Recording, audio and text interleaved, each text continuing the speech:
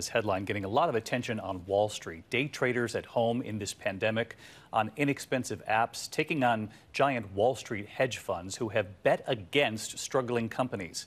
Many of those investors at home investing in those struggling companies, forcing the hedge funds to then pay up for shorting the companies. Here's ABC's chief business correspondent, Rebecca Jarvis, tonight. Tonight, the New York Attorney General is investigating after a multi billion dollar bubble on Wall Street burst. It all started as a raging tug of war between a group of young stock enthusiasts who bought shares in struggling companies like GameStop. But the biggest hedge funds in the country were betting GameStop would crash, also known as shorting. By buying the stock, the newcomers helping to push shares of GameStop up 1,700%, costing the hedge funds more than $5 billion.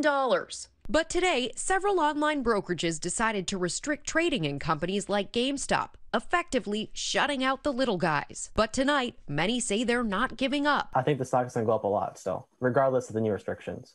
You did not sell today. Nope, not a single share. 19 year old JP Hurtado is one of many newcomers stuck at home in the pandemic, swapping trading tips on Reddit. Until today, he was using the free online platform Robinhood to buy and sell stocks. That is, until they told their users they couldn't buy any more GameStop in light of recent volatility. What did you think of Robinhood's move?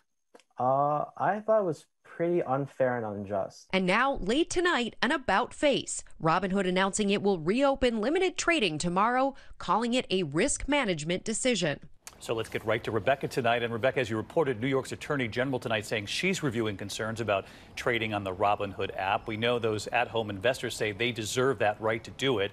Uh, but you're learning tonight that several members of Congress are now looking into this as well. That's right, David. We've heard many calls from Congress to look into this new territory, these new trading devices. It's important to keep in mind here the SEC says they are not commenting to ABC News at this time, but the bottom line this is not saving for retirement. If you are even considering doing this kind of trading, proceed with caution, David. All right, Rebecca Jarvis tonight as well. Thank you, Rebecca.